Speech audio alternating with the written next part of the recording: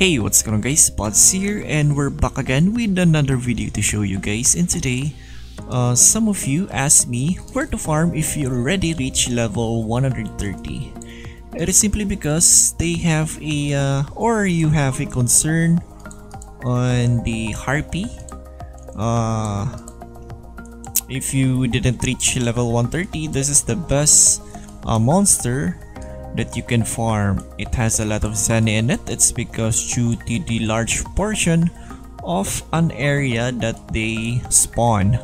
So since this is only level 119, you're going to have a penalty of 20% uh, drop rate reduction, rate If you're familiar with the uh, level cap. And uh, instead of 100%, you will now have a 80% drop rate if you're still going to farm in this harpy. But uh, don't get me wrong guys. You can still have a lot of money if you if you have a party and you guys are doing the group hunting. The zeny is still much higher if you do that. But for those who are grinding alone well i don't worry. It's because i got you guys there is a total of four spot that I can recommend to you guys. So uh, this is the first one. This is on the magma dungeon and then in here. Alright so all you need to do is uh, check this fire Fetchling. there you go. So it is a brute monster a medium and then a fire attribute. Alright and then it drops uh, burning hair and then that's it. And then uh, Maduger fuel as you can see. And uh, don't underestimate that guys. It's because you can sell that with uh, 50 per uh, 50 per fuel. As you can see in here so if you have 100 then you will have a uh, 5k 1000 50k and then 10,000 that's 500k so don't underestimate that one. It's because it is a uh, money. So what you need in here is a card for fire. You can always use this one. Alright. And then I can always use this one also for range damage as you can see. There you go. And then fire. I have a uh, yeah damage to fire monster. I can always use this one also. And then brute monster. Right card inlay on my in here. Fairy in battle. There you go. So I think we're good to go. And then uh, I think this is good. Alright so I think we're good to go even if I don't use a uh... oh wait. We need to stay alert. Yeah. But uh, if you don't have enough damage you can use a water element booster.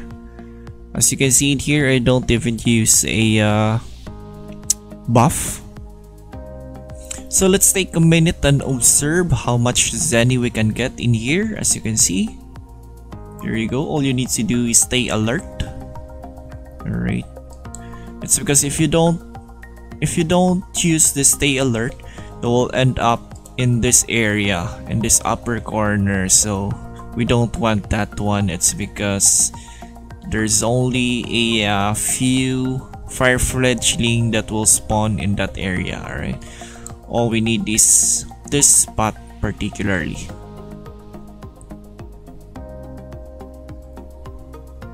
Alright, so we're here on the second spot that I recommend. It's on the Hamelin. And we are going to aim the Dullahan and then the Lude. So let's check first the Dullahan and the Lude. Right, so here's the Dullahan. It is an undead one. Undead race, double undead. And uh, if you're not familiar what is the weakness of the undead monster, well, it is fire. Alright, so it is weak against fire and we can farm a rotting rope in here which is nice.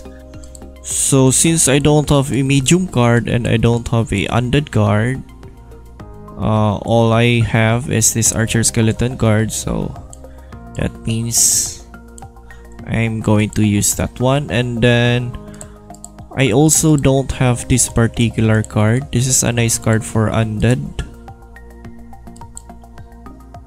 Uh, where is it? This one. The loot card. Damage on undead monster. So since I don't have this one, uh, that's unfortunate. Alright, but I think we can still one hit this monster. If we... How about... I'm going to use a Satisfied feast, alright.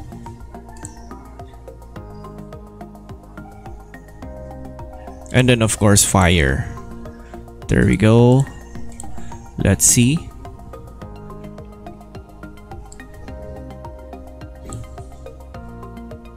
Oh, so we can still one hit the monster. There you go.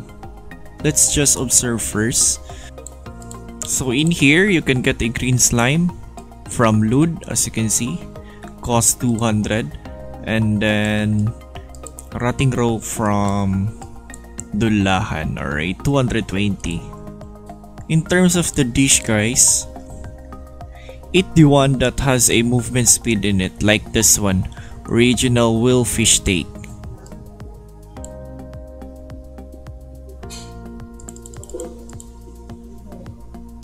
Alright, so we're here now on the third spot that I will recommend. It's on the homunculus uh, basement first floor. Let's check first what are we dealing here. So we're going to farm the Remover. A undead monster, medium one. And you can loot a moldy gold coins which is a expensive one. So that's why we're going to aim that one also. And then the Dark Merchant. So it is a uh, Earth monster and a fire attribute is going to be good also with this one. So we have a two mobs that is weak against fire. That's nice. And this is a demi-human, a medium one. And then you can get a iron ore in it. Alright, so that's it. And uh, I think we need to get the Dark Thief also so that we're going to stay in this particular area. Dark Thief is a poison attribute mob so that's why we are going to use a uh, this one centipede card. It helps with there you go damage to poison and then what else this Anaconda card. Uh, damage to poison monster plus 15%. So we're going to use this one on our FIB. And uh, I think we're good to go. Oh, I forgot the Hydra card. There you go. Change this into Hydra card and we're good to go. Right, so fire, fire element for the Remover and the dark merchant. And then the rest is the for the dark thief. Let's aim the Remover. The dark thief and the, the dark merchant. There you go. As you can see we can one hit the dark merchant and then the removal. But the dark thief we cannot do that. But we can at least still a two-hit blow.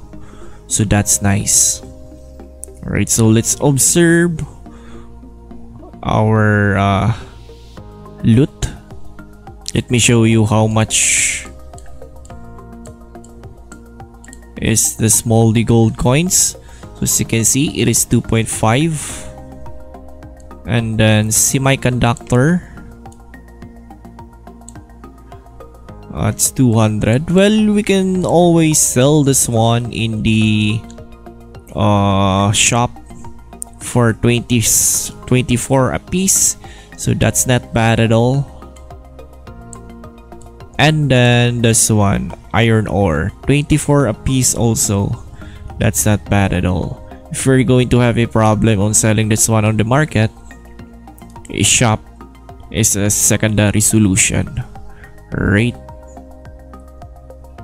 Alright, so we're here on the last spot that I'm going to recommend.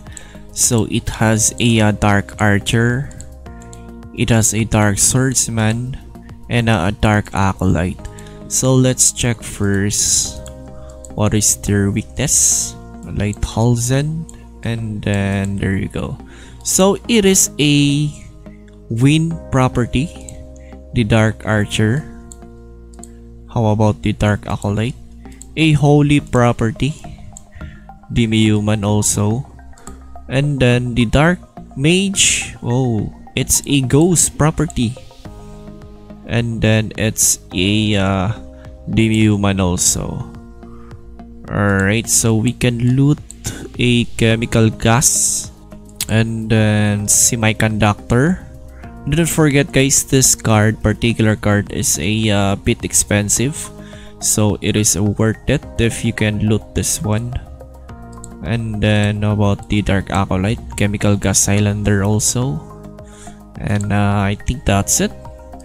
Oh, there is no Dark uh, Mage in here. So since there's no Dark Mage, uh, it is the Dark swordsman. So it's a fire. Demi-human also. And then you can loot a great nature from him. And then iron ore. Alright so let's do this one. The best way to farm this is to use a uh, neutral. Neutral property. And then well we don't have a uh, fire uh, against fire, we can use this one for the swordsman. Alright, and uh, I think that's it. That's the only card that we have that we can use. This one is for our offhand also, so we can't do that. And uh, that's it. We're good to go. Dark Archer, Dark Swordsman, and then Dark Acolyte.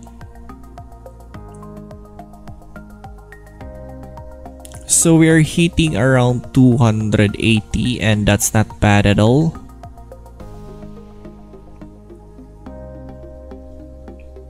At least we can 2 hit.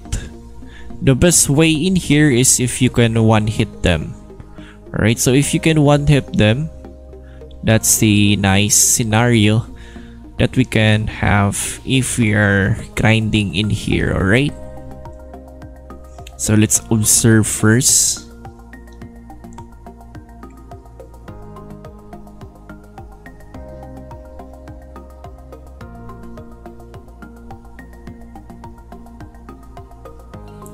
Right, so that's it. Thank you so much for watching guys. Hope you enjoyed this video and you learned something from this. If you do, please hit the like button. And if you want my future content, please do subscribe. Until then, see ya in the next one. Bye guys!